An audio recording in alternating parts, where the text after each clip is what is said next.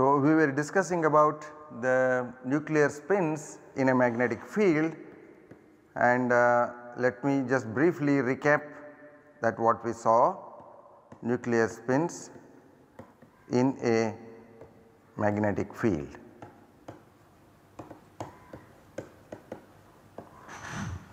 Consider a spin with i is equal to half we said it has two possible orientations in space and if I want to represent them like this. So, I have one possible orientation like this other one is in like this and this is the orientation with uh, we call it as alpha state and this is, this is the beta state and here m is equal to half and here m is equal to minus half. The magnetic field is applied along the z axis and therefore the alpha state has a lower energy and the beta state has a higher energy. So this the uh, different orientations have different energy values and that energy is given by E is equal to minus mu dot H naught where mu is the magnetic moment, H naught is the applied magnetic field in terms of so this can be called as mu z h naught minus mu z h naught or this is minus gamma m h cross h naught. So therefore obviously when alpha is equal to plus half m is equal to half then the alpha state has a lower energy compared to the beta state and there is a population difference between these two and that is uh, population difference the alpha and the beta states have different populations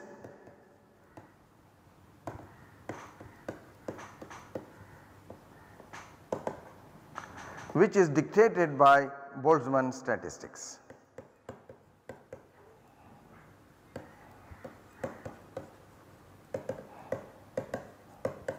So, you want to represent it like this. So, this is alpha state there are more spins here and there is this is the beta state there are less spins here. So, this population difference is responsible for the NMR signal intensity. So, this dictates the NMR signal intensity how it will we will see that later.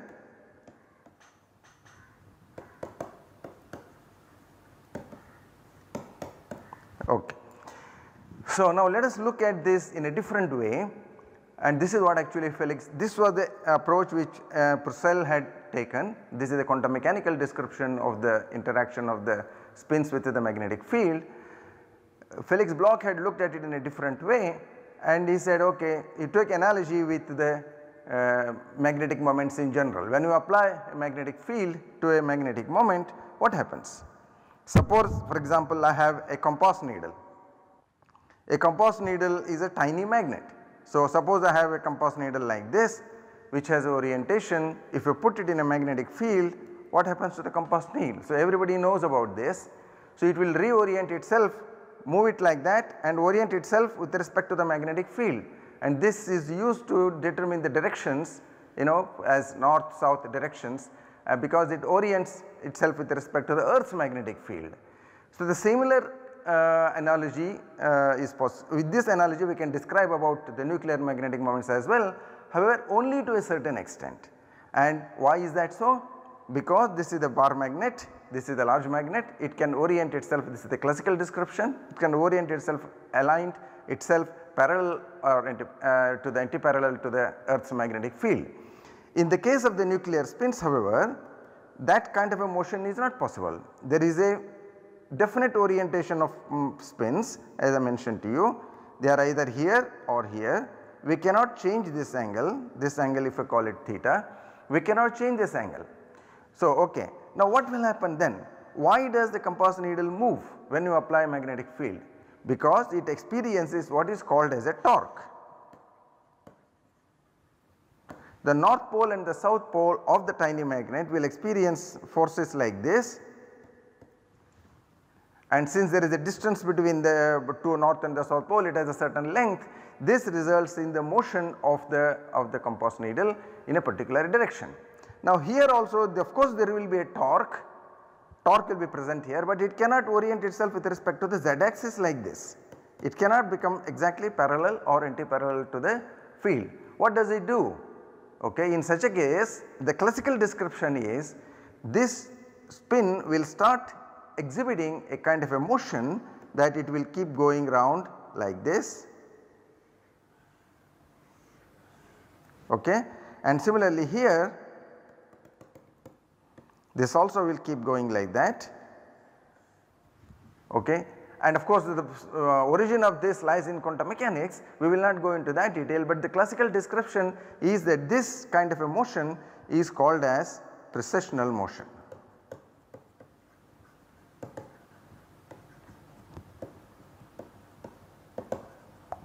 And it goes by the name Larmor precession.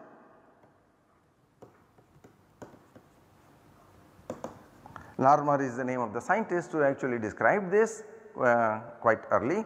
And therefore this motion is called as Larmor motion. And this goes in a particular direction. It goes in this clockwise direction. And the frequency of this motion if I want to write it as omega naught this is related to the magnetic field by this equation H naught is the strength of the magnetic field and gamma is your magnetogyric ratio. So now is there a parallel between this and the energy level diagram what we had? Energy level diagram also showed let me draw that here energy level diagram we had this energy here E is equal to minus gamma m h cross h naught. So for this one this is minus m is equal to half minus h cross h naught by 2 and here it is gamma h cross h naught by 2 because m is equal to plus half here and minus half here. And what is the energy difference between these two? Okay. So this is minus energy difference delta E is equal to minus gamma h cross h naught. You see. So this is very similar to what we have here omega naught is the frequency and therefore this is equal to minus omega naught h cross okay. So therefore the classical description of Larmor precession and the quantum mechanical description of energy level diagrams are identical. The energy separation between the two levels is it in, in terms of the frequency it corresponds to the Larmor precessional frequency. So this is a very important concept with regard to the um, precessional motion and we are going to use this quite significantly extensively in the subsequent description of uh, resonance absorption of energy and, and so on. When these arms are executing the motion all the spins go in the same direction okay? Whether it is alpha state or the beta state they both go in the clockwise direction. And the minus sign indicates that. The minus sign means that okay there is a clockwise description conventionally the anti-clockwise motion is considered positive and the clockwise description is considered as negative. Okay. So, uh, now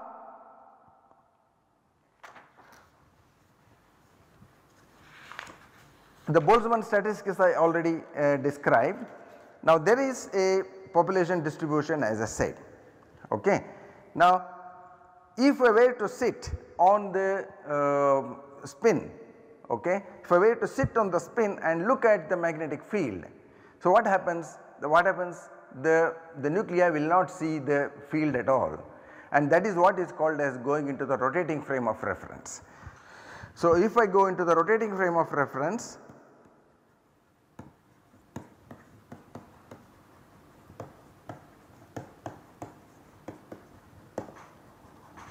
means you sit on the RF, sit on the um, uh, spin and look at the magnetic field.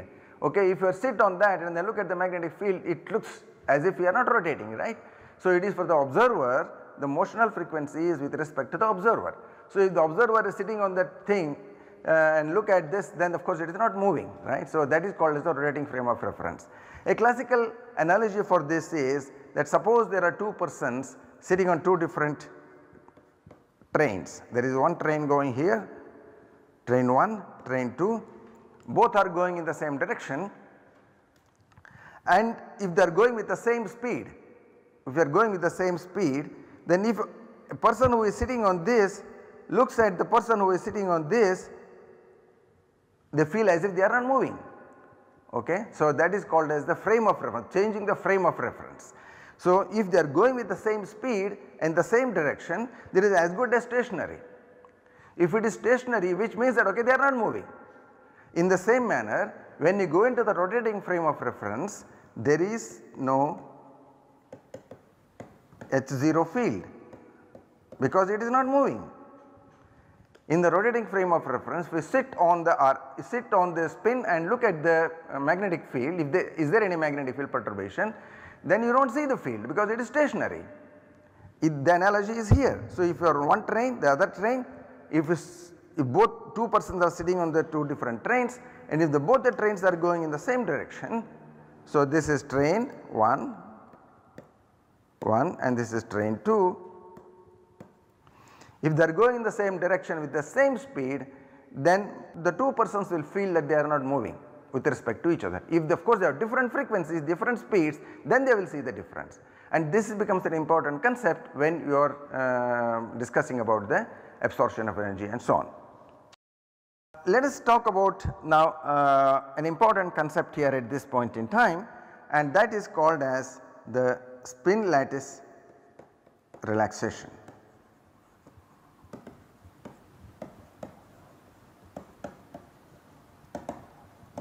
What is it all about? Okay. We said that for the two, two orientations we have one state here alpha, other state is the beta.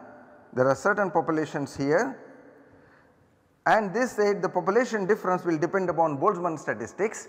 Boltzmann statistics means that okay the probability of the spin being in the alpha state is equal to P is P alpha e minus delta E divided by kT and similarly uh, P alpha by P beta this is the ratio of the populations is given by e to the minus delta E by kT.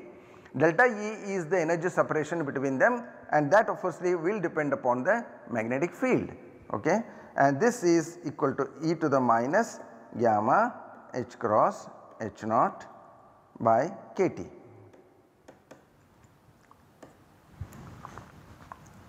Okay. And that was the energy difference what we saw and kT T is the temperature. So if I change the field if H0 is changed if H0 is changed then the populations will have to readjust. So that means that there have to be transitions from one state to the other state forward transitions and backward transitions both way, both way it has to happen. What brings about these transitions? And if a particular spin has to lose energy where does the energy go? Okay. So this means lose energy and where does it go? If it has to gain energy, if a spin has to gain energy, where does it come from? Okay, so this is the question, what is the source? Therefore, here there is a concept which is called as the lattice. So this brings us to a concept called as lattice which is everything else which uh, other than your actual spin system. So it is a large number of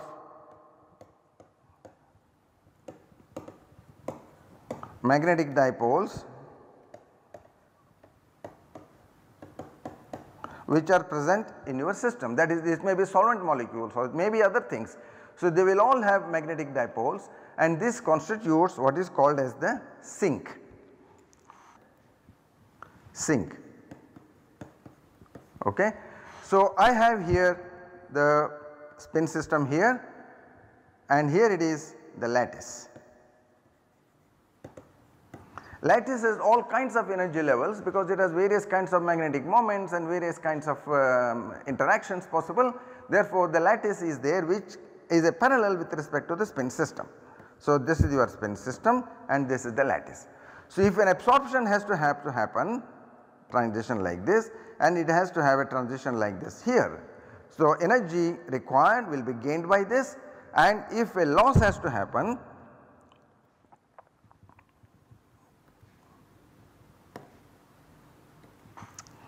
if it has to lose energy where does the energy go? It has to go here the lattice will take this energy. So, therefore, it is a kind of a sink or the source. So, therefore, lattice and spin are constantly interaction interacting. And therefore, this is spin lattice coupling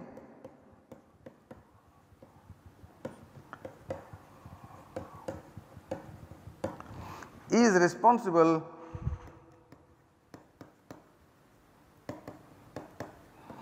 for for uh, population adjustments.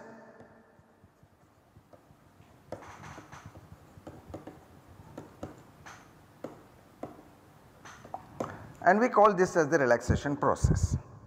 And this is the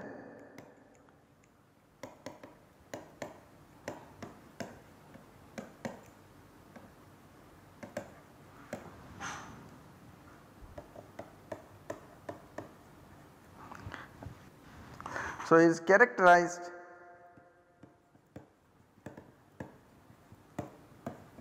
by a time constant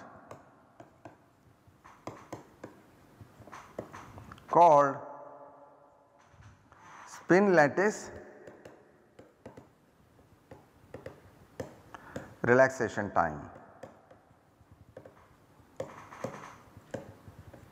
and it is represented as T1. The same thing is responsible for the adjustments of the populations starting from 0. So, in the absence of the magnetic field all your spins were here in one particular state right. So, here H0 is 0 and when H0 is non-zero is not equal to 0 then we generated 2 states and the readjustment of the populations took place ok. So, therefore, how do I characterize this? Without going into the theoretical details of this let me just give you the uh, how does the population difference change. Suppose n alpha is the population of the alpha state.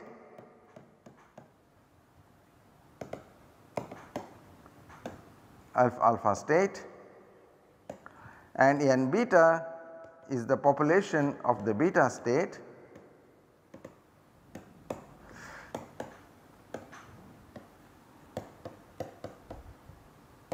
and if I define n is equal to n alpha minus n beta if n naught is equal to n alpha naught minus n beta naught this is the equilibrium population difference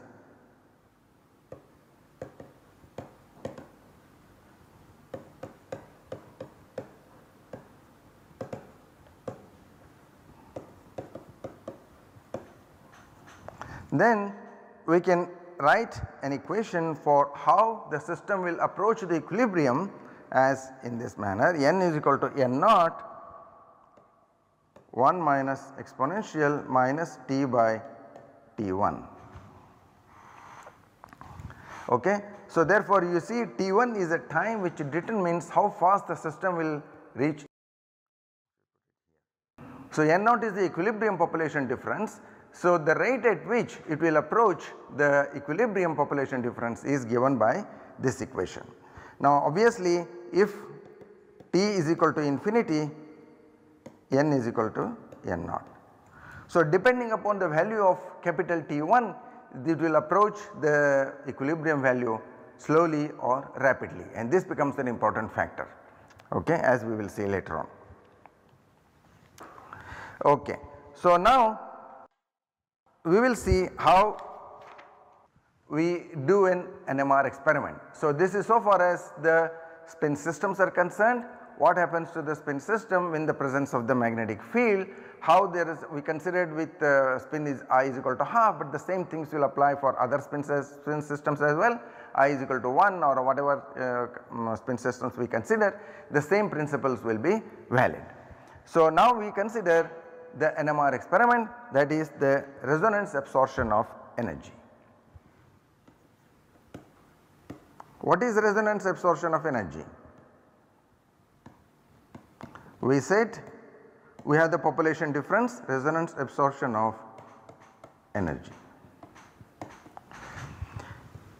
We can look at it in two different ways. Well, easier one is to look at it in the quantum mechanical picture. Again we will consider I is equal to half. First we have the two states and this energy difference is equal to delta E and this we say delta E is in the in the radio frequency regime.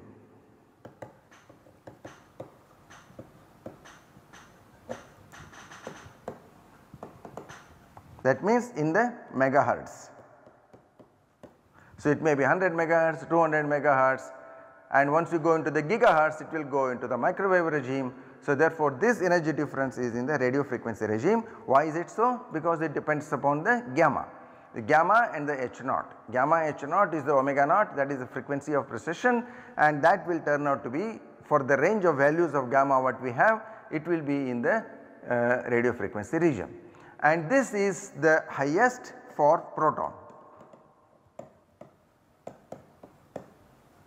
For proton because it has the highest value of gamma.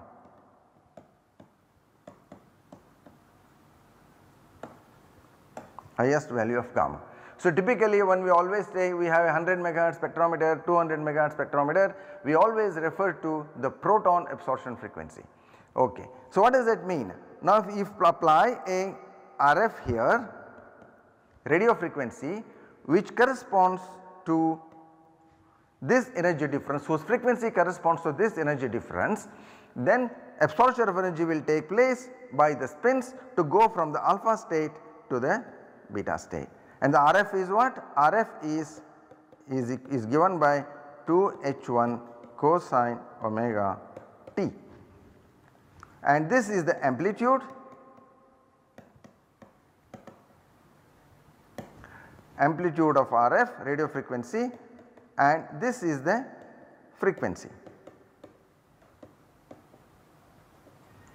So if this energy RF energy matches this energy separation delta E then there will be maximum absorption if omega is equal to omega naught is equal to omega omega naught was what that was the energy correspond frequency corresponding to the energy difference between the two states and omega is the RF frequency. If omega naught is equal to omega this is called as the resonance condition.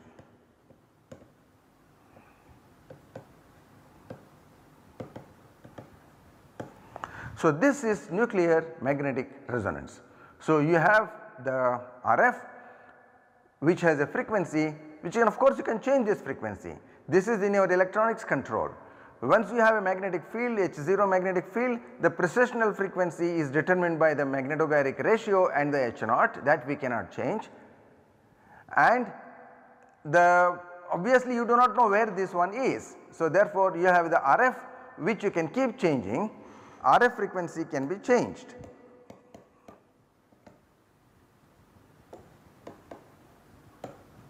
can be changed to to achieve the resonance condition.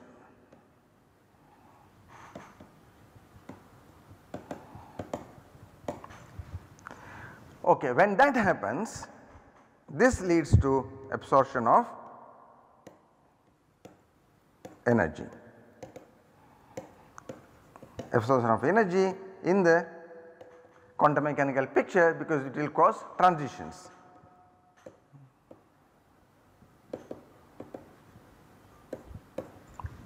Okay. Let us also look at this in a classical picture. The classical picture again we go back to, to the single spin half system i is equal to half. We said in the classical picture these ones are precessing like this, these are also precessing like this. And this frequency of precession was given by omega is equal to minus gamma h naught. And this is h naught. Now this is the transverse plane.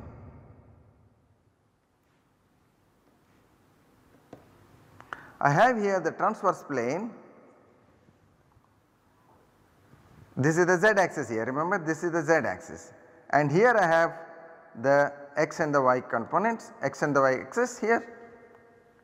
The RF has to be applied in the transverse plane.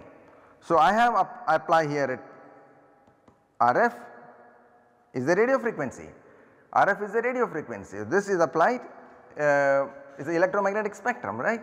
So if apply this, so I have here 2 H1 cosine omega t okay. So I can break this up into two components H1 e to the i omega t plus e to the minus i omega t divided by 2. This is the expansion of the cosine function. So what does this e to the i omega t meaning? e to the i omega t means a rotation along the this axis in this, this direction this is e to the i omega t and the other one is the rotation in this axis e to the minus i omega t. This is the rotation in this direction. Now out of this which one do we consider? We consider the e to the minus i omega t because it goes in the same sense as your nuclear spins are precessing okay. So this is the one which we consider because if we consider the e to the i omega t it goes in the opposite direction therefore there is no time for the spins to interact with the RF so this is remember this H1 amplitude is the magnetic field. So this is the magnetic field the magnetic component of the RF which we are looking at. The electromagnetic spectrum has both electro electrical uh, component and a magnetic component. We are talking about the magnetic component because we are talking about nuclear magnetic resonance, magnetic interactions. Therefore, we are here have the magnetic component of it and interaction will happen with the magnetic component which is the H1. And therefore, if the spins have to interact with H1 we have to consider the frame in which we are uh, sitting and then how we look at the RF okay. So alright so okay so let me let me stop here and we will continue for the next class from here.